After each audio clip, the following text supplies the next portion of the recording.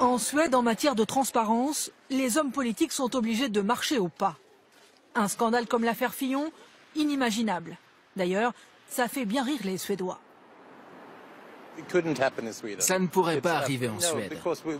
On sait précisément ce que font les gens ici.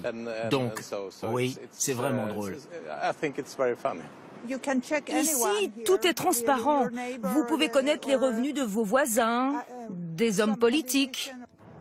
La Suède, c'est le pays où une ministre, Mona Sahlin, a été obligée de démissionner en 1995. Elle avait utilisé sa carte bancaire professionnelle pour 1000 euros de dépenses privées. J'ai acheté des couches culottes, du Toblerone et un paquet de cigarettes. Ici, on ne plaisante pas avec l'argent public. Alors, au Parlement de Stockholm, l'affaire Fillon provoque la stupéfaction de ce député de gauche, Stig Henriksson, 40 ans de carrière politique.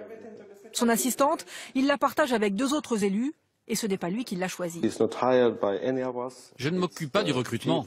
C'est un responsable de mon parti qui gère en fonction de nos besoins. Et elle, elle est payée par le Parlement. D'ailleurs, il ne connaît pas son salaire. Et quand on lui demande s'il pourrait théoriquement engager sa femme, vous riez parce que ça vous paraît impossible, mais en France, ça l'est pas. Oui, ça c'est vraiment fou. Parce que en Suède, si on a besoin de recruter quelqu'un, eh bien on passe une annonce, comme dans n'importe quelle entreprise. Ce n'est pas interdit de recruter un proche, mais ça ne se fait pas. Et les dépenses des élus sont strictement contrôlées. Dans ce formulaire, Stig Henriksson doit justifier chaque centime engagé, frais d'hôtel, repas, essence. Et contrairement à ses homologues français, pas d'enveloppe à utiliser librement pour ses frais de représentation. Il pioche dans ses 6 000 euros de salaire mensuel. La transparence est inscrite dans la constitution suédoise. À notre poste, on doit faire preuve d'une grande rigueur morale. Mais le système est encore plus efficace.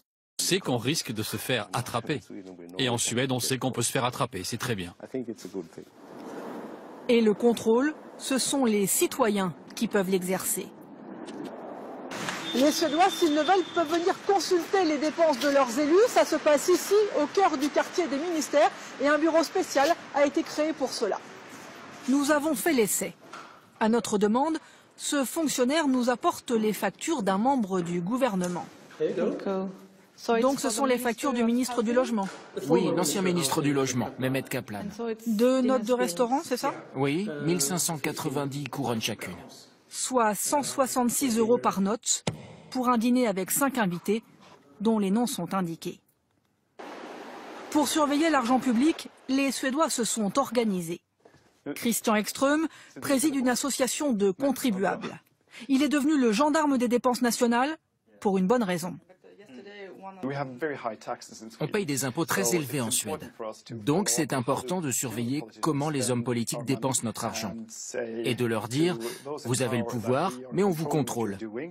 Et si vous gaspillez l'argent des contribuables, on sera sur votre dos. Un système qui fait ses preuves. La Suède se classe chaque année dans le top 5 des pays les moins corrompus au monde.